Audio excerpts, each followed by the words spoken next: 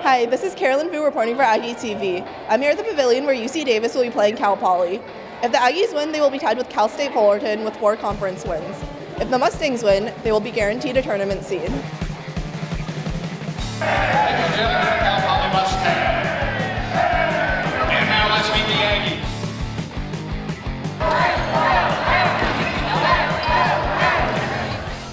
The Aggies held the lead for the whole of the game, starting off with a jump shot by Brynton Lemar, assisted by Avery Johnson.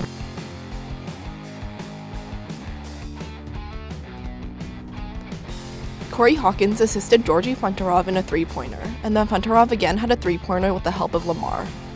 The Mustangs attempted to pull ahead with a three-pointer by Michael Bolden and a layup by Brian Bennett, but the Aggies fought back.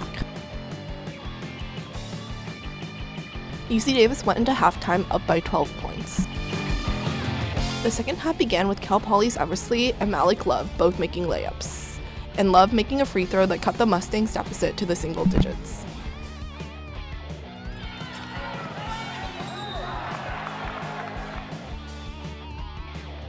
However, Funtarov's two three pointers and several more three pointers by Ryan Sypkens and Avery Johnson increased the Aggies' lead even more. Johnson's dunk, as well as numerous other points put on the board by the Aggies, helped the Aggies' lead stay in the double digits, ultimately giving them a season sweep over the Mustangs.